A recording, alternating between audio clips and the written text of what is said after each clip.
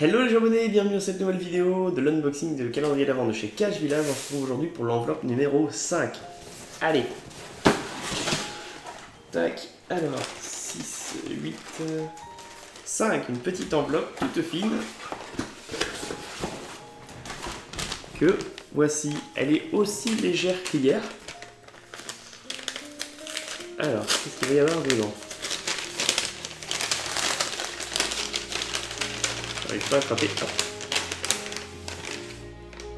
Alors, nous avons un badge, un gros badge euh, Geocaching. Geocaching, voilà, Geocaching. Avec donc euh, le satellite et le pin GPS. Donc un nouveau badge à mettre donc, sur les sacs à dos, euh, un peu où on veut.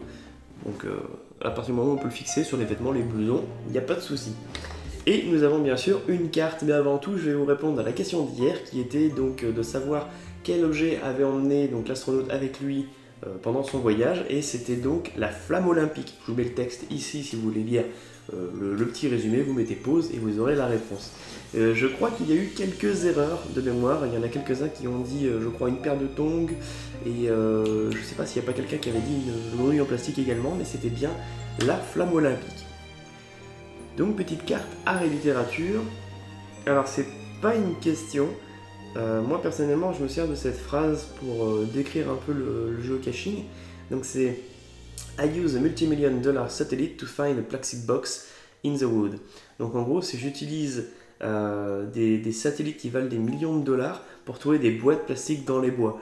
c'est souvent ça qui me sert à, décrire, à décrire ça aux gens. Effectivement, le nez dans le lierre, les mains dans une souche, les jambes dans les ronces, mais toujours guidé par GPS. Voilà une réponse que les jeux cacheurs apprennent très tôt pour expliquer leur activité favorite.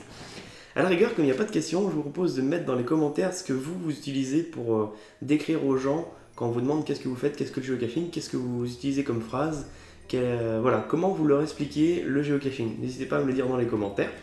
N'hésitez pas à me dire ce que vous avez pensé du cadeau du jour. Et on se retrouve demain pour le, ben, le 6, tout simplement le 6 décembre.